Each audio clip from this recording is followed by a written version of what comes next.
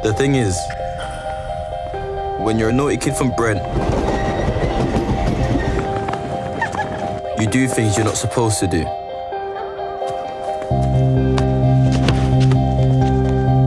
Like acting up, giving cheek, moving mad.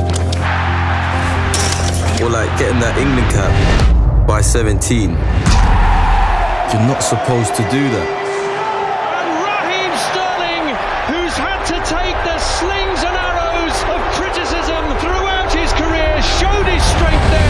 Like shutting down the hate with some words of your own. Like realizing it's not all about you. And stepping up for the next generation.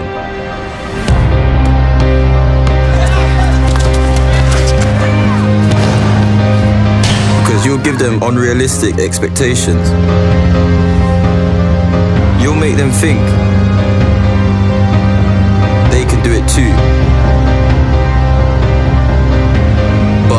You're a naughty kid from Brent. You do things you're not supposed to do.